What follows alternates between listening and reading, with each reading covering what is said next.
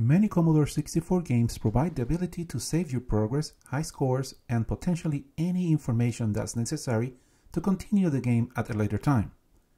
This information sometimes can be saved on the original game disk, but many times you will be asked to insert your own formatted disk. How exactly can you create your own blank disks to use on the C64 to save your game's data? We'll show you how in this video.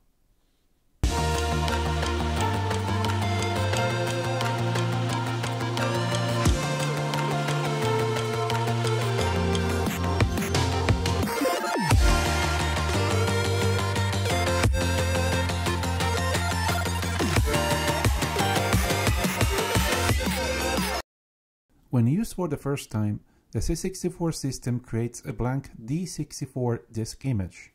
You can use this file for any purpose, to save your own programs in BASIC or any other language, or to save game data. However, some games require to format the blank disk to save their own data in a particular format. If you use the generic D64 image provided by the C64 system on any of these games, you will lose the existing data.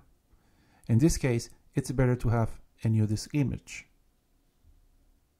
Your first option is to make a copy of the image from the C64, put it in the USB flash drive's games folder, and let the program format it and use it. Now let's use this image in a game. Let's reset the C64 and clear all the memory. Find the game and load it.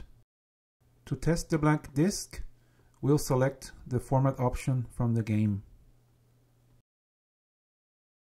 Now we'll select the blank disk image copy we created and format it using the game's format option.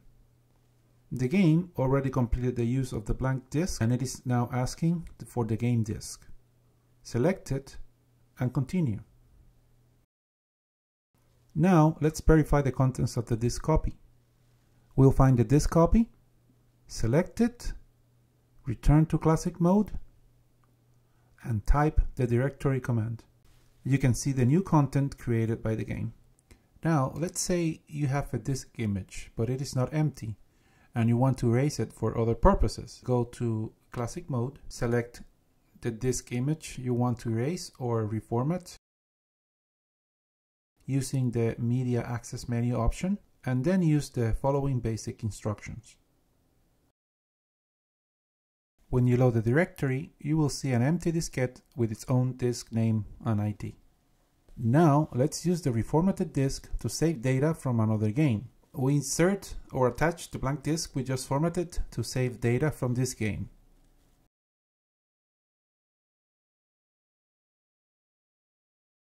From the game, we select option number 2 to save the data and enter the file name. The game saves the data into the disk we just selected. Now let's restart in classic mode. Double check that the disk is selected, then we load the directory and list it. You can see the file we just created with the game.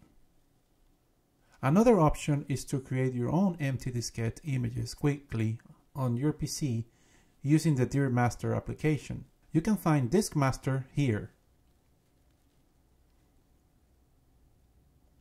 After installing the software, open it and go to Disk, New, D64. You will see an empty disk image.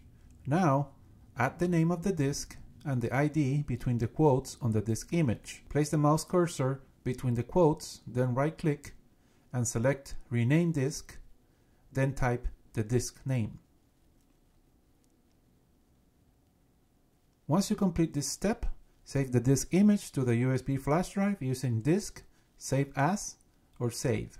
Plug the USB stick to the C64, power it up, go to Media Access, Select the newly created disk image from DirMaster, then load the directory and list it to verify the contents. These are some easy methods to create your own disk images for your own games As you can see, there are multiple options available that you can use immediately. I hope you enjoyed the video. Please leave your comments, like, and subscribe. See you next time.